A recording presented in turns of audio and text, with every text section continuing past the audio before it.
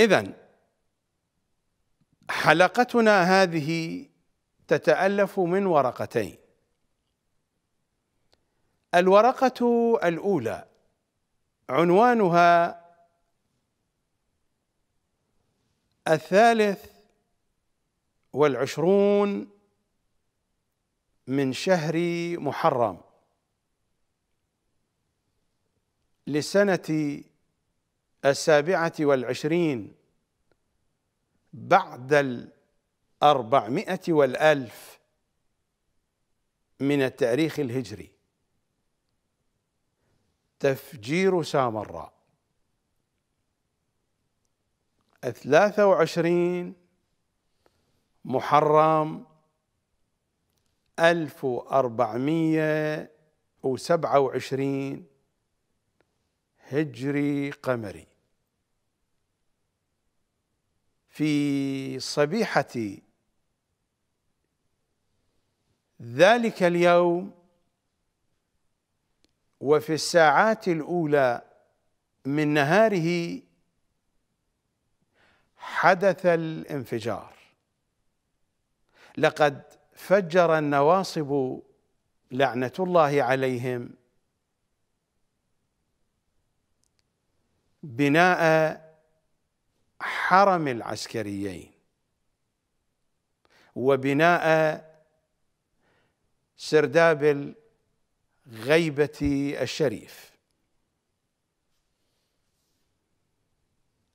لقد هدموا بناء حرم العسكريين وهدموا بناء سرداب الغيبة الشريف. موضوع لا أريد أن ألج كواليسه. فهذا الموضوع بحاجة إلى وقت طويل. إذا ما سنحت لي فرصة في قادم الأيام فإنني سأفتح هذا الملف وسألج كواليسه وبجرأة كاملة مثلما فعلت مع مجزرة سبايكر. واقعة حتى لو قلت عنها من أنها مهمة جدا جدا فإن الكلام سيكون متواضعا. مع عظم تلك الواقعة. أترك أمرها لأن شأنها معقد.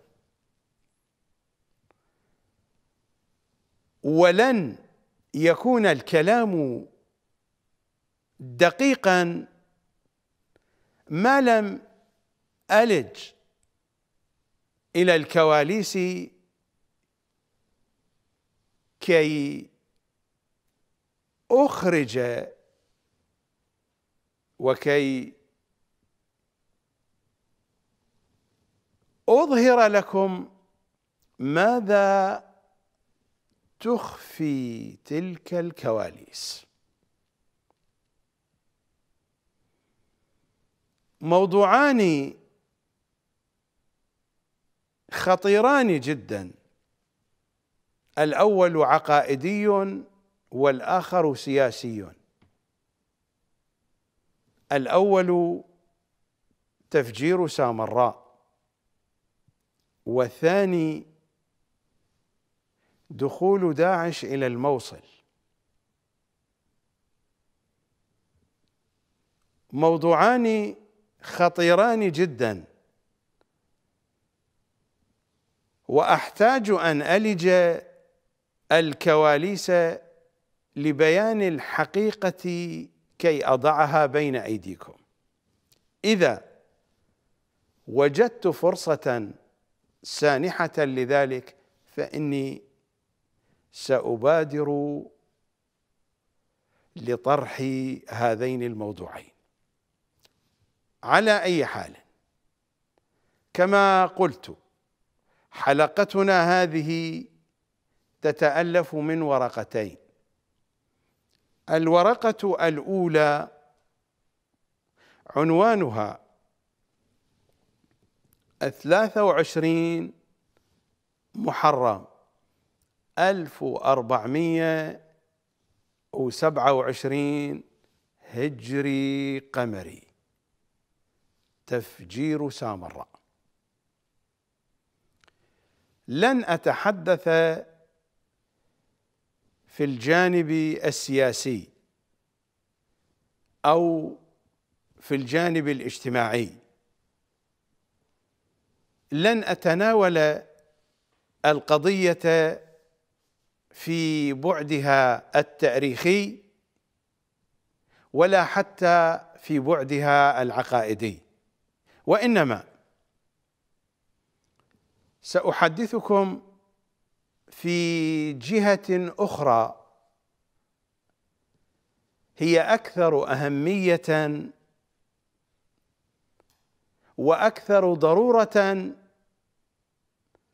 من الحديث عن تفجير سامراء لأنها هي السبب هي السبب هي السبب وهنا أضع دائرة حمراء أرسمها حول هذه الكلمة هي السبب. لا أريد أن أقف عند هذه الكلمة لأنني سأترك هذا إلى قادم الأيام. أحدثكم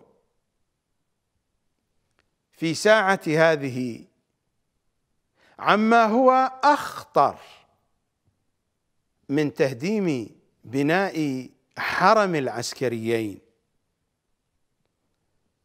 ومن تهديم بناء سرداب الغيبة الشريف.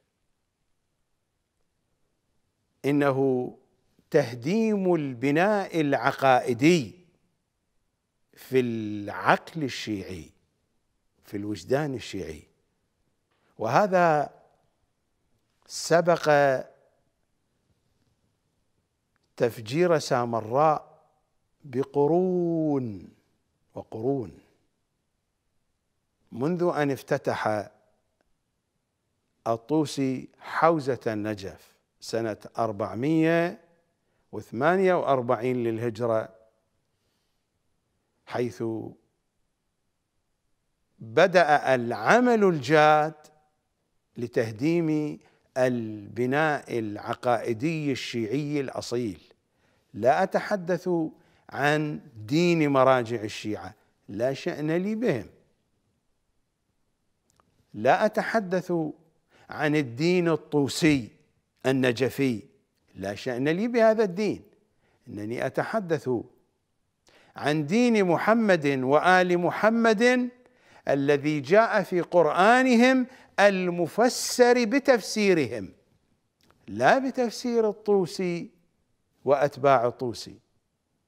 إنني أتحدث عن دين محمد وآل محمد الذي بينت حقائقه ومعارفه في مضامين الزيارات الشريفة والأدعية والمناجيات. إنني أتحدث عن دين محمد وآل محمد الذي حدثنا عنه محمد وآل محمد.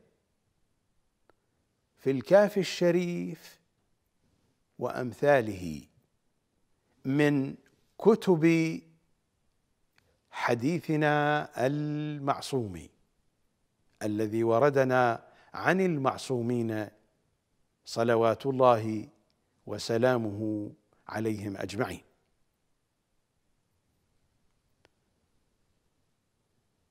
لا أريد أن أطيل الكلام في هذه الجهة بالذات لأنني سأحدثكم عنها كثيرا في قادم الحلقات.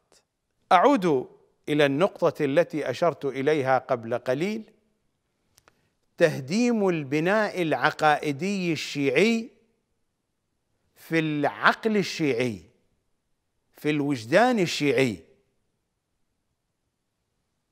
والإتيان بقذارات النواصب بديلا عن العقيدة التي يريدها منا إمام زماننا صلوات الله وسلامه عليه.